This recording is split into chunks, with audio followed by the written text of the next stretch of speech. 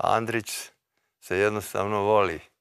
Mi smo, ja kao gimnazijalac, nekako sam odrasto sa Andrićem.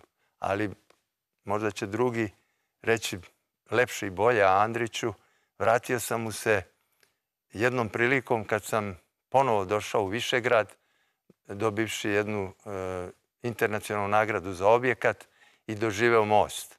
To je bila jedna prilika jedne, da kažem, olujne noći kad je nadošla Drina, kad je ta sila prirode skoro e, pomerila most. Nije ga pomerila.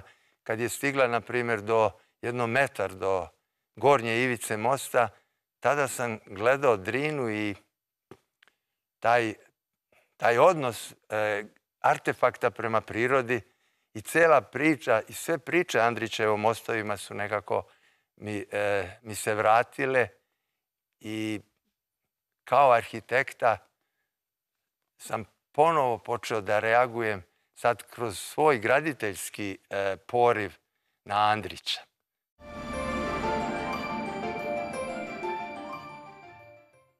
Veliki kameni mostovi, svedoci iščezlih epoha, kad se drugačije živelo, mislilo i gradilo, sivi ili zarudeli od vetra i kiše, često okrzani na oštro rezanim ćoškovima, a u njihovim sastavcima i neprimetnim pukotinama raste tanka trava ili se gnezde ptice.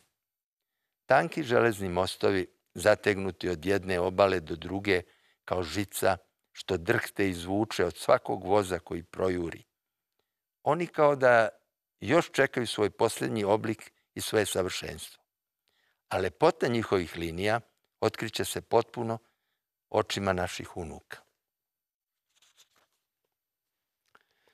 Svi su oni u suštini jedno i podjednako vredni naše pažnje, jer pokazuju mesto na kome je čovjek naišao na zapreku i nije zastao pred njom, nego je savladao i premostio kako je mogao prema svom shvatanju, ukusu i prilikama kojima je bio okružen.